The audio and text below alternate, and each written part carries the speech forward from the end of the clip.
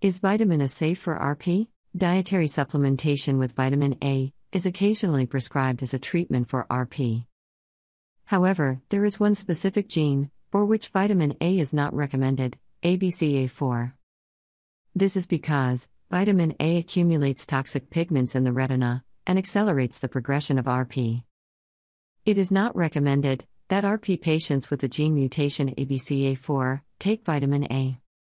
It is also recommended that people who take vitamin A supplements monitor liver function annually. Vitamin A is generally not recommended for smokers or pregnant women.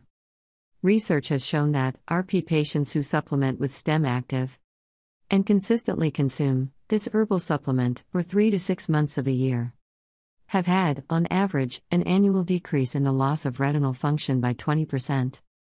As measured by ERG in comparison to those not taking StemActiv.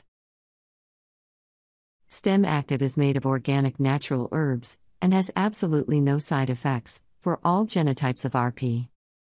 It is also the best pretreatment for increasing the success rate of future gene and stem cell therapies.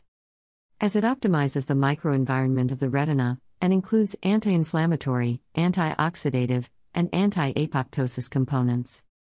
It is the best supplement for RP patients to restore their vision in a safe and natural manner.